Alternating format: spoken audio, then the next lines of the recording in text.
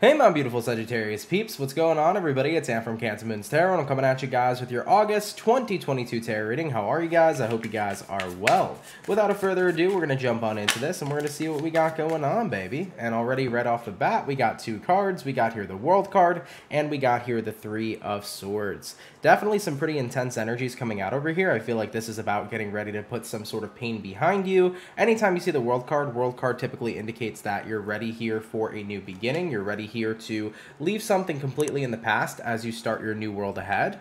And of course, as many of us know, Three of Swords is that card of pain. And um, it could be pain, of course, that can come from a source of heartbreak, but it also could be pain in general of just feeling like you've experienced a lot of things happening continuously could be like an overwhelming type of energy like a lot was unfolding at once and um, it just really hit you hard you know so that three of swords could be a moment of like just a bunch of built up pain or could be heartbreak of course take it how it resonates to you.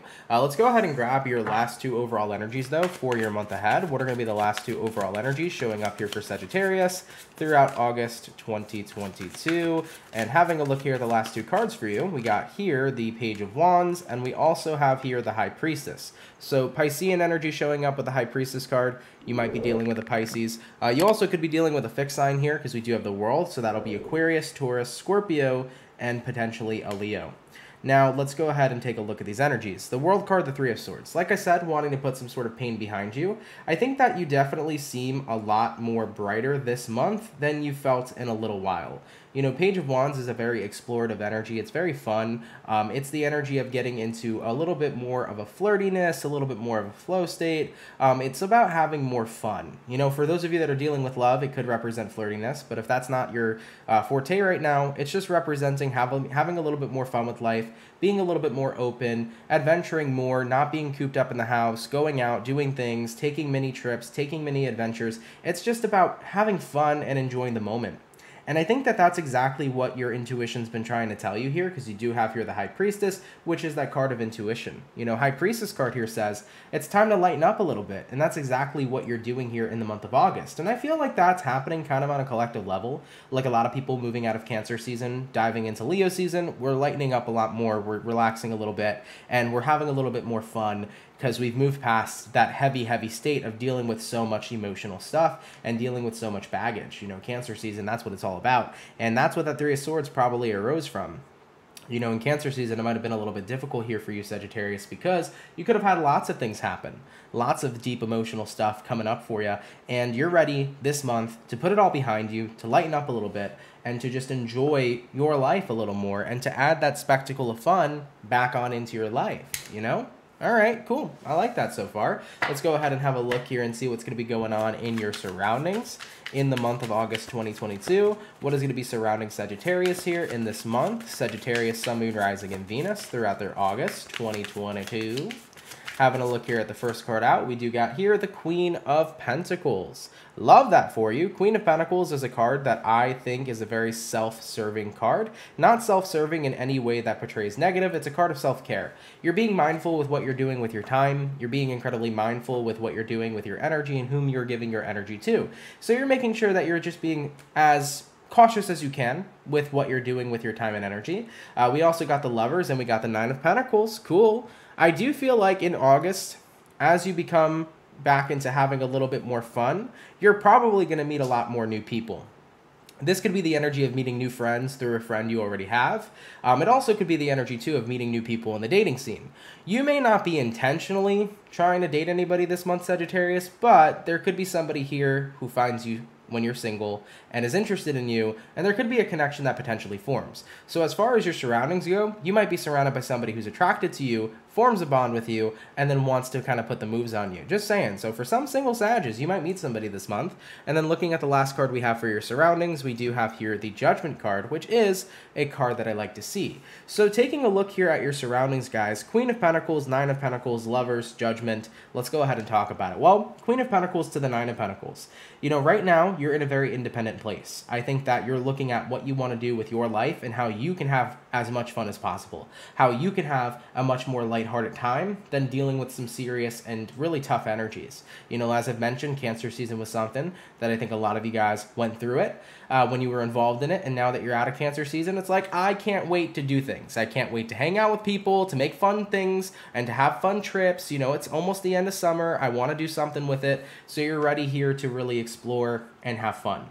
Now, with the Lover's card here to the Judgment, this is where things get a little interesting because it's about giving chances to people that are going to be new to your environment. I really do feel like in the month of August, you're going to encounter lots of new people. Whether you have friendly connections with them or deep romantic ones, there's going to be a time here where you're meeting new individuals and giving people chances to be a part of your life. So you will start to meet a lot of new individuals and there will be a lot of new energy to work with. It seems very playful, it seems very fun. Uh, maybe some of you guys here are meeting new friends. And like I said, it could be through a friend that you might meet new friends. You might be uh, going to a new job potentially. So those coworkers that you end up finding might actually be some really cool people that you'll end up hanging out with. Uh, so I do feel an energy of lots of new people coming into your life. Now, with the lovers though and the judgment here, this is also the energy about giving yourself a chance to do what you love. So I do think that a lot of you guys coming into the month of August are going to start being more mindful to what it is you truly feel connected to. For example, if you've always had a talent and you've never really let that talent shine, this month you might see yourself trying to do something with it. Let's say you're very great at playing piano and nobody really knows that about you and you never really did anything with that talent, you might start a TikTok page where you do a bunch of cool piano songs. You might start to go to bars or clubs that have a piano and go play for people and put on shows. You know, it's that energy of like expanding on stuff that you really connect with, uh, even though you never really took a chance on it before. So this could be about the time where buried dreams come to life. Any dreams that have been buried deep down might come alive here this month, which is a beautiful thing to see. I'm a person who loves when people really show off their talents. They really get involved in what they dream about and what they really care about and what they're passionate about. And to see that come to life, I think is a really beautiful thing to see in August 2022. So you might have that happen here as well in your environment and in your surroundings. You know, you might be surrounded by lots of things you care about, lots of things you're passionate about, and it's like, huh, maybe I should actually take action on it this time around. Maybe I should see where it could go. All right? All right, Saj, let's go ahead and have a look and see how you'll be doing and feeling personally in the month of August 2022. We already got the Sun card jumping out, so that's great freaking news. Leo energy over here. You definitely seem like a very happy soul, very lighthearted this month. A lot, lot better than the previous couple months that maybe you've endured.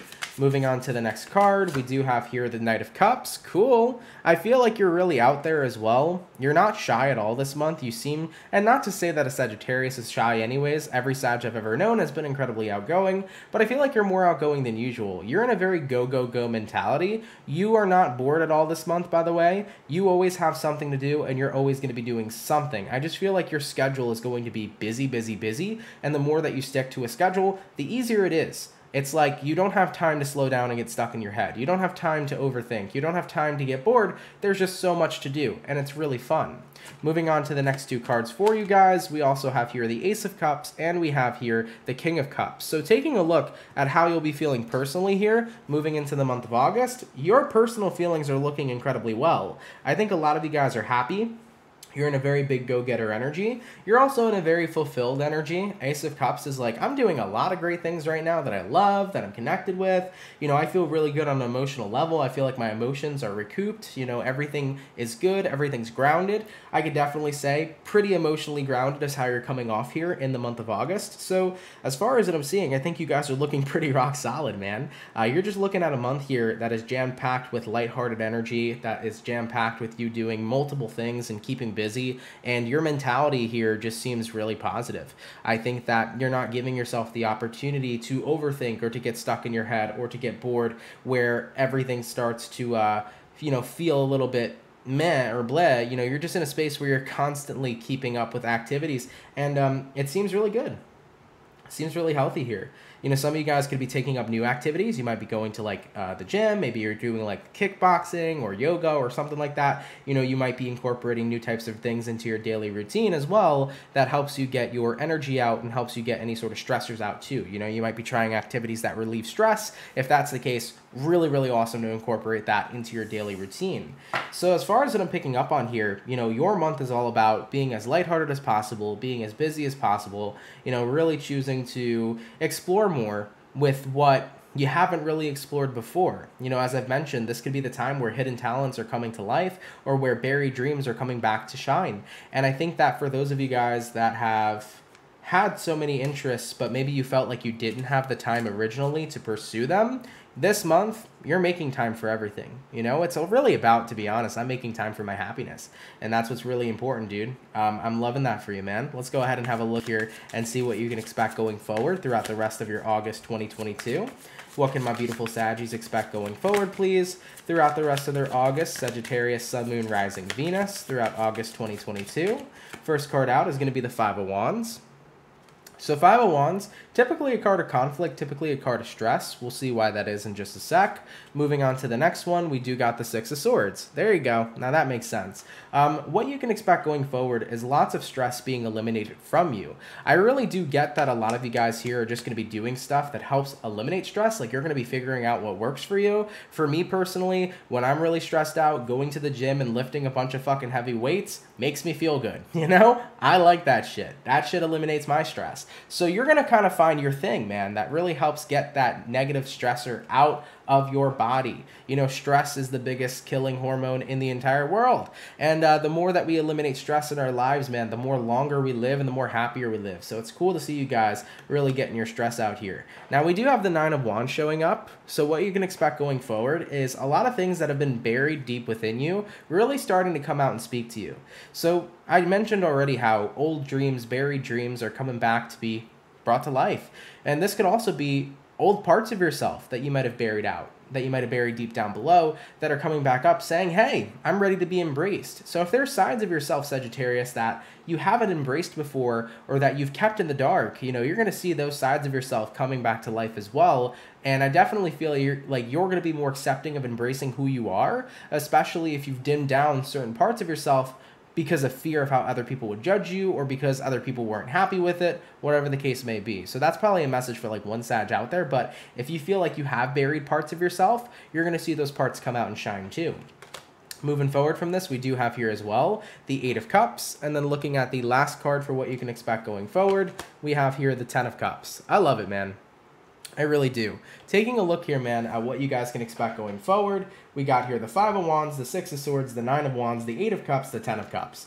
So we already talked about, excuse me, we already talked about the Five of Wands to the Six of Cups, or to the Six of Swords. You know, you guys are really doing everything you can to eliminate your stressors, but getting back into that Nine of Wands and Eight of Cups energy, a lot of the things you might have left behind maybe it wasn't things you wanted to leave behind, but other people kind of made you. You know, you could have been caught up in situations in your past Sagittarius where you were dealing with romantic partners, family, or friends who just didn't like certain things that you did and it made you feel like you had to dim your shine or that you had to change the person you were. You know, if you were caught up in situations in your past where you feel like you had to change the person that you were, coming into the month of August, you're bringing back who Sag really is. No one can tell me what to do. Nobody can tell me what I need to dim or tone down. So I'm going to start to be myself again. And you're getting out of that shell here with the Nine of Wands to the Eight of Cups. You know, everything that you've kind of dimmed down that maybe other people influenced you to do so, it's coming back up. And the real version of who you truly are is really showing here in this month ahead.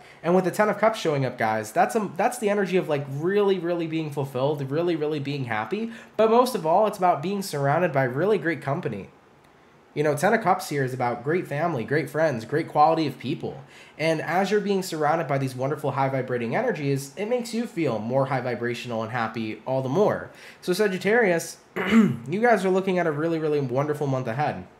Like, I actually have zero complaints for what I'm seeing here, man. You guys are looking at a really rock solid month. And like I mentioned from the beginning of the video here, you know, this month starts out with you releasing a lot of pain.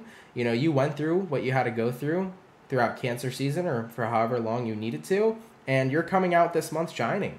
This is the month about lightheartedness, about incorporating more fun, about incorporating more experiences, and just living your best life. I do see a time and frame where you're probably going to be meeting a lot more people. You know, there's a chance for love to spark here for a few of you Sagittarians. You might come into contact with somebody that you form a really awesome connection with, and maybe it goes somewhere. But overall, guys, who you truly are is starting to come back to life. You know, that flame that you might have felt was burnt out in you, Sagittarius, is being relit. And that is really wonderful to see. All right, let's go ahead and take a look here at the overall outcome for you. What's going to be the overall outcome here, please, for the zodiac signs of Sagittarius, Sun, Moon, Rising, Venus throughout August 2022? What's going to be the overall outcome? And what do we got? We got here the moon card, man. I love that too. Moon card is interesting because the moon card is what talks about your emotions. You know, if you take a look at the imagery here, it looks like these two people are clashing, which could be representing like your emotions being in a pretty up and down state. But I feel that what's most important about the moon card showing up here as the outcome is that when you look at the emotional transformation that's happened here, you really, really see it. The thing is, is that we have this dark and then we have this light. So there's a person here who's kind of like portrayed as this dark force, and then there's a person here who's portrayed as this light force. And if you look at the imagery, it looks like the person who's the light force is winning. It's winning the battle. So I feel like you've overcome here with the moon card your dark battle. Whatever you've gone through for the past month of Cancer season or for the past whatever amount of time you've been through, you know, you've definitely gone through some challenges that have caused a lot of painful moments for you. You know, you've encountered a lot of pain, but I feel like at the end of this month, you come out overcoming that pain, and that's what I feel is truly being portrayed here in that moon card. So I love it for you, Sag. You're coming out here in this month, really changing up the game. You seem to be getting out of your shell a lot. Of course, you're coming into this month being incredibly happy and fulfilled. And I think that it's really, really rad, man, to see this awesome transformation ahead for you and to see just you being in this lighthearted, have fun, live your best life type of energy and just to see all the wonderful opportunities that are coming to you as well. I feel like by you being in this high vibrational energy, you're going to be very magnetic for new opportunities. So I wouldn't doubt you guys meeting new friends and meeting new people or getting this new job opportunity or, you know, finally chasing a dream that you buried and starting to see success coming from it. It's like, all of who you are is coming back to life and people love that. People are going to love seeing sagittarius in their full force in their full nature and um, it's gonna be awesome, dude. I got no words, man. I feel like I'm actually speechless, man, for once when it comes towards a tarot reading. Like this was freaking awesome for me to read, man. It was an honor. Sagittarius, thank you guys so much for tuning in. Really appreciate it. Hope you enjoyed it. Of course, if this message resonates to you, let me know down in the comments down below. Appreciate you guys tuning in. If you are new here, please do consider subscribing. Of course, if this is not your story, you know, stay tuned till next time. Might have another uh, resonating story for you guys for the next one that comes out. Also, feel free to check out any other awesome readers on the platform. But with that being said, love you, Sagittarius. Enjoy your month ahead, and I'll see you guys later. Peace.